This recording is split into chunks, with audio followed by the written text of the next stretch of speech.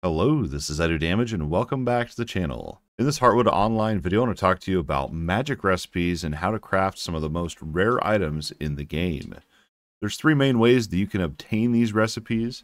The first way is from normal mob drops, rare spawns, as well as weapon crates. There is nine total really rare recipes that you get from drops. Again, those are going to be something you're really going to have to grind and get lucky with. The second way you can get magic recipes is from using ancient curses that you can get through combining cursed pages. We'll cover all of it in the video. And the third way is through ancient hex scrolls that you can use. Now, the ancient curse and the ancient hexes can actually be used at this vendor right here.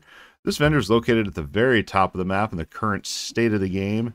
This is up by the skeletal faction, the big blue card of gems. And you can see all the recipes that you can buy from this vendor. On the vendor, you're going to see there's different scrolls that you can use to purchase recipes. These white and blue ones are the curse scrolls, and these brown ones are the ancient hex scrolls. And the way that you obtain these scrolls to use on this vendor is by combining four tattered hex pages. Pages 1 and 2 of the Tattered Hex can drop from the Skeletal Worker 1 and 2, as well as the Cave Rat. And here's a very good area that you can actually farm for those in. Pages 3 and 4 do drop from the Skeletal Miners and Skeletal Dogs, and so this is going to be your next area that you're going to want to farm for pages 3 and 4. Once you've gotten these to drop, they have a pretty low drop rate in my experience. Once you have all four pages, you can go ahead and click on them and combine them into your Ancient Hex. The Ancient Hex is that first piece that you need here to spend at the vendor. Once you have that, you can figure out what recipe you want to actually purchase. And in this video, we're going to be focusing on the Pillar Balance since I've already made that one. And I'm not sure what I want to craft next. Once you figured out which recipe you want to buy from the vendor, you can go ahead and just use your Ancient Curse and purchase it from the vendor there. The recipe will then show up in your bag, which you can right click and use, assuming you're high enough level to use that recipe. Now, keep in mind, these recipes are a one-time use. So for the Pillar of Balance, that is a woodworking recipe. You have to be woodworking level 15 to make it. And then you'll go to your workbench.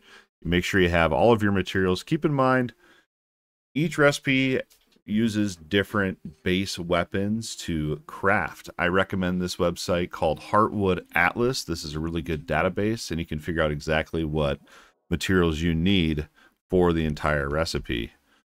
I'll have the link for that website down in the description below the video. The majority of the magic recipes will require you to have a lumen crystal. Some require you to have more than one lumen crystal to craft. The pillar balance, you only needed one, I believe. But the way that you're going to get them is you're going to come into the mines. And right here's where you enter the mines and you're going to come up here and up to the top bridge and across to this giant crystal right here. And this is actually a repeatable quest where you can turn in 250 lumen shards. These lumen shards drop from the skeletons in the mines and other mobs in the mine. They're a really pretty common drop. You just need a lot of them. So it's 250 shards for one full crystal. And yeah, it is a repeatable quest. You can see right here, I'll go ahead and turn in two, get my two lumen crystals here. And again, I think you only needed one for the pillar of balance. That's how you turn the shards into crystals. Once you have the recipe in your bag, you're just going to go ahead and click on the recipe here and click learn. Once you've actually learned the recipe, it will show up at your crafting bench. Again, pillar of balance is a woodworking recipe and you need to be level 15. Once you're in here, you can see what materials are needed. For this one, we needed a skeletal staff and the lumen crystal. You can get the skeletal staff to drop from the skeletons in the mines. And there you go. That's how you make Pillar of Balance. The other magic weapons work in a pretty similar way, so this should give you a good idea of the process that you need to go through to make these rare weapons using magic recipes. If you enjoyed this video, go ahead and hit that like button and don't forget to subscribe to the channel for more videos. As always, thanks for watching and we'll see you in the next video.